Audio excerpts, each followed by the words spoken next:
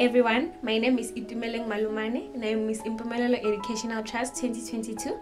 I'm here to present to you the 6th Youth Summit of Impumelelo Educational Trust that's going to happen at Ekutulani Hall on the 16th of June.